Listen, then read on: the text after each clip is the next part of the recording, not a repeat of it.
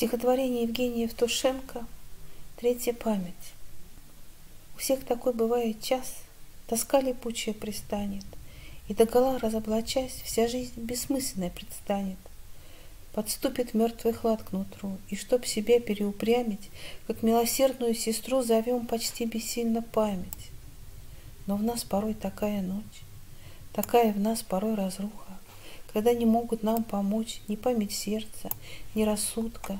Уходит блеск живой из глаз, движение, речь, все помертвело. Но третья память есть у нас, и эта память — память тела. Пусть ноги вспомнят наяву и теплоту дорожной пыли, и холодящую траву, когда они босыми были. Пусть помнит бережно щенка, как утешала после драки доброшершавость языка все понимающей собаки. Пусть виновато вспомнит лоб, как на него, благословляя, лег поцелуй, чуть слышно лег, всю нежность матери являя. Пусть помнят пальцы, хвою, рожь и дождь, почти неощутимый дрожь воробушка, и дрожь по нервной холке лошадиной. И жизни скажешь ты, прости, я обвинял тебя вслепую, как тяжкий грех мне отпусти мою озлобленность тупую.